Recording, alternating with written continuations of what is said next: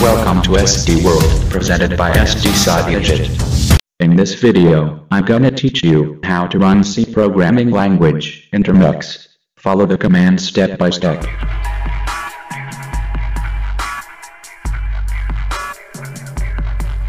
PKG update.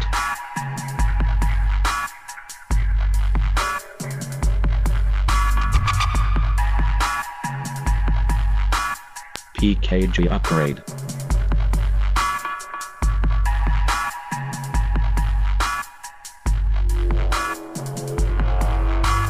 PKG install CLang.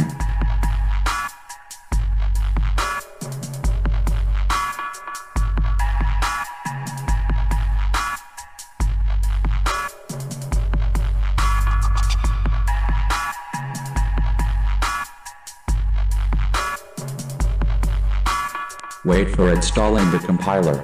It depends on your internet speed.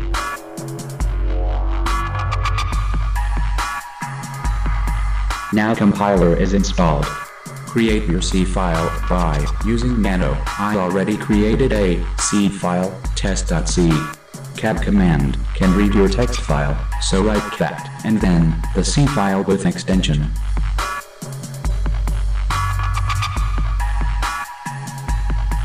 Now write clang test.c to compile the program.